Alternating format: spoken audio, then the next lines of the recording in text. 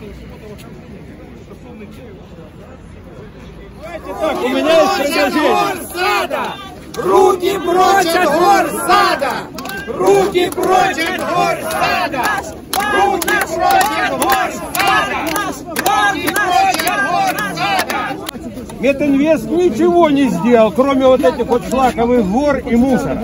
Ничего. Метинвест раздал все детские садики, все свои э, предприятия. Сохраните Витинвестской жемчужину, выделите деньги и сделайте, да, нам нужна выселка современная, сквер современный.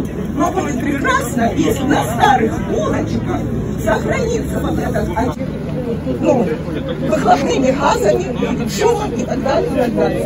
А мест полно в городе, в любом районе, даже после этих места полно пустырей, где можно построить. И мы за университет.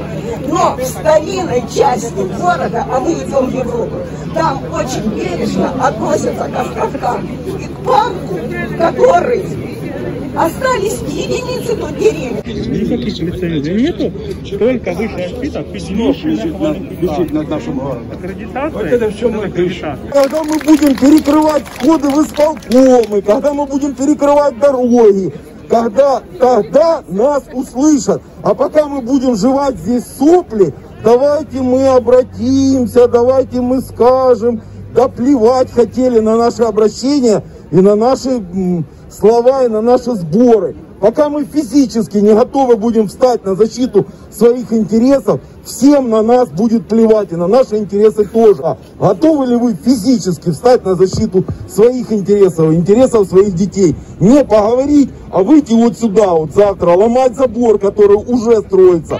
Еще не переведено э, целевое на- назначение земли, еще как бы не решено о том, что стройка должна быть, а она уже началась. А почему мы здесь? Потому что я когда был маленький, я в этом парке, при том, что я живу на волонтеровке, каждые выходные проводил. Когда я был уже повзрослее, мы со школой сюда приезжали на каждые выходные, включая все выпускные, включая, когда я женился, я сюда кортеджем свадебным приезжал для того, чтобы сфотографироваться. что мы и так живем на половине. И это все знают, жители этой улицы. Мы живем на половине. Если начнут тут э, строительство, мы все поплывем. Дальше. Потом вот это э, стоит э, кинотеатр, а дальше стоит садик, детсадик. Он, ему тоже много лет. И что, они вот тоже будут сносить